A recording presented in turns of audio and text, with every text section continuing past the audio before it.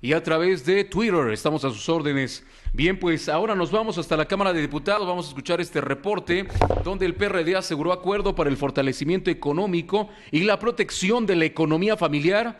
Bueno, pues dicen que está condenada al fracaso. Escuchemos el reporte. La propuesta del presidente Enrique Peña Nieto para fortalecer la economía ante el gasolinazo está destinada al fracaso sin el apoyo de la Confederación Patronal de la República Mexicana y la Confederación Nacional de Gobernadores, aseguró la bancada del PRD en la Cámara de Diputados. El vicecoordinador de los diputados perredistas, Jesús Zambrano, dijo en entrevista que el mandatario debe escuchar todas las voces para establecer una propuesta real que tenga como eje fundamental echar atrás el aumento a los combustibles. Aseguró que la contrapropuesta que presentó este martes la Coparmex tiene más claridad que la del presidente de la República, pero subrayó que la única solución es echar atrás el gasolinazo y establecer una medida real de austeridad que contemple el recorte significativo de salarios a altos funcionarios, incluidos ministros, consejeros, senadores y diputados. Además sugirió eliminar el beneficio del seguro de gastos médicos mayores a todos los funcionarios públicos, pues dijo este servicio quita millones de pesos al erario. El diputado sonorense advirtió que sin el apoyo de la Coparmex y la CONAGO, el llamado acuerdo para el fortalecimiento económico y la protección de la economía familiar que presentó este lunes el jefe del Ejecutivo está destinado al fracaso. El diputado Jesús Zambrano dijo que el presidente debe en primer lugar echar para atrás el gasolinazo, no ser insensible ni irresponsable, no estar jugando con la estabilidad social que está poniendo en riesgo también la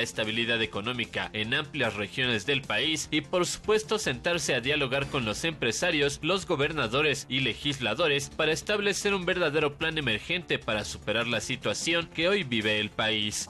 Para el punto crítico, Diego Rivero.